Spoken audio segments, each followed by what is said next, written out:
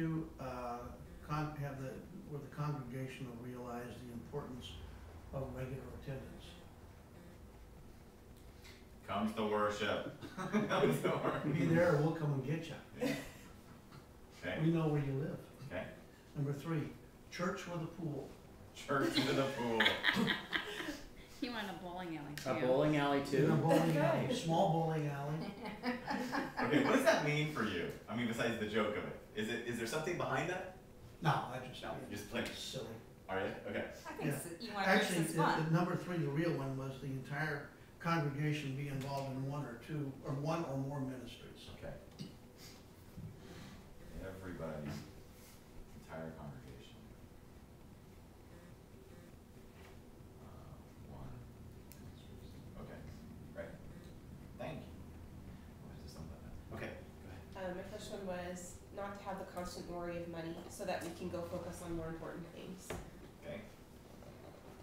And then, um, second one is I want people to say, wow, I want to be a part of that. Um, And I gave the example, I have a friend that his life was in complete, completely upside down, work, everything, and he decided that he wanted his business to be like Tom's Shoes, except he builds houses. Uh-huh. So he builds a house, he builds someone's house, he goes to Mexico, and they build a house for somebody.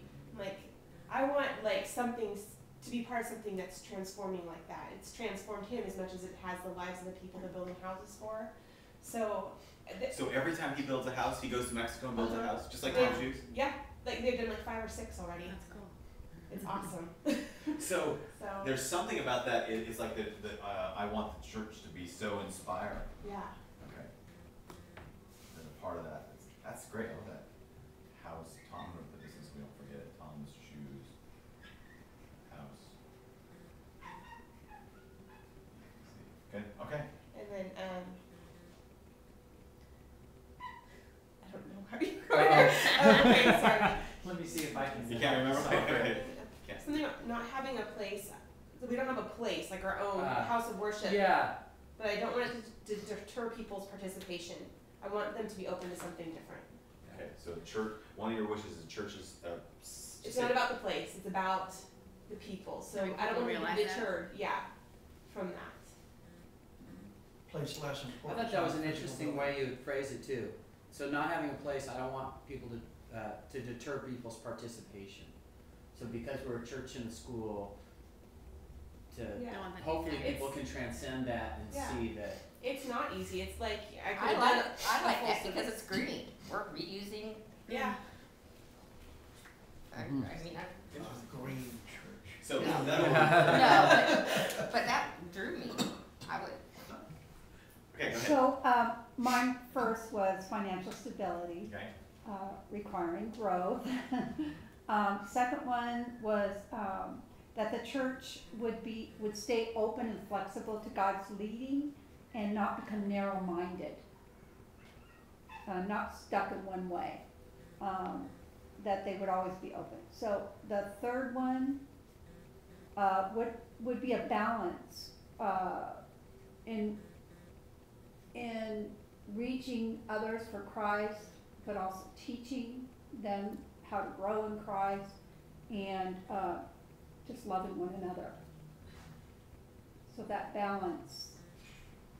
Not so. I think what I'm saying is not to have a focus on one thing, but to have a real balance.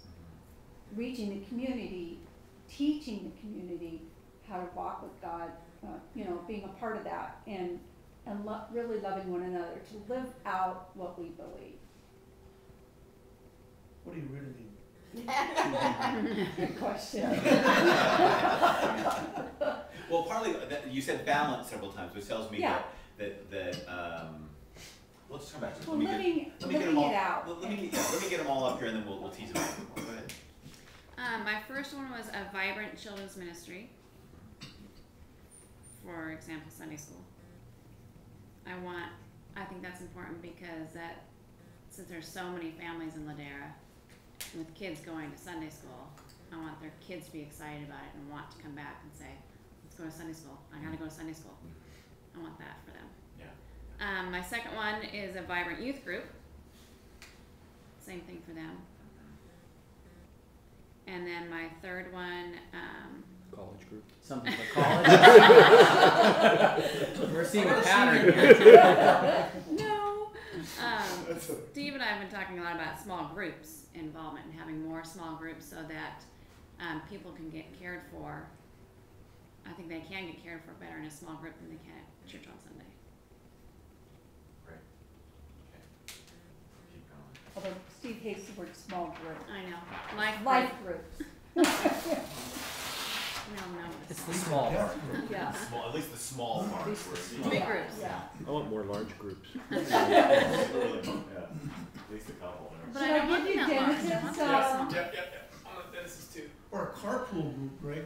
Okay, his was, um, that we would be passionate, passionate about having or giving grace to the community, um, coming to know Christ, evangelism. Um, that we would requ- that we would not require a financial subsidy.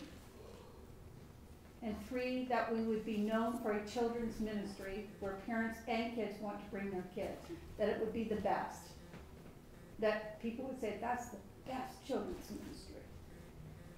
I agree. And who's running it? Is what Dennis added there. Oh, okay? No, I'm kidding. no. Okay. It's Susan. You know, Dennis's wife is the one Oh, who that's stepped right. forward. Oh, is it? To, Oh. yeah, Yeah. to run the children's. Oh, Yeah. okay, yeah, no kidding. Oh, yeah, that makes Yeah. a lot of sense. Oh, man, that Susan's makes done sense. Yeah, Yeah. that does. That makes a lot of sense. That's great. Okay. Uh, let's see, Steve. Sure, mine are a little more Different. esoteric. That's exactly what you're going to be. This is why you don't get to be the only voice. I was gonna be, Exactly yeah. for that That's true. Uh, I wrote um, that we would be open to figuring out what a church of the future looks like, instead of something uh, that was successful either now or yesterday. I, I think of that in terms of like, who in the world would ever want to go?